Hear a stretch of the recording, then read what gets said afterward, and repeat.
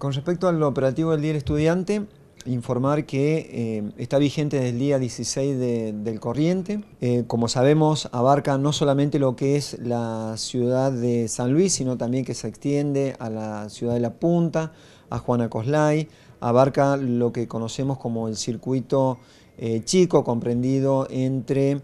las localidades de Potrero Los Funes, el Volcán, el Trapiche, la Florida. Con respecto a eh, las novedades arrojadas durante estas últimas horas,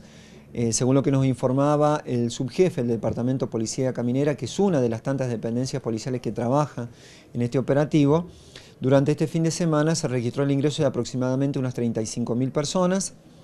en aproximadamente unos 7.500 vehículos,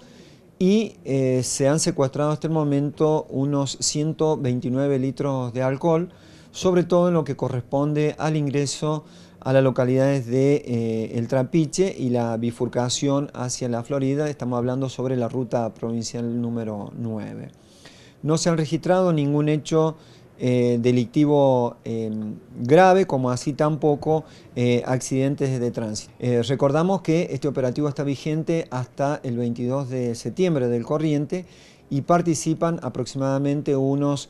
540 eh, efectivos policiales que están distribuidos en, tres guardias de aproximadamente unos 160 efectivos eh, cada una de ellas.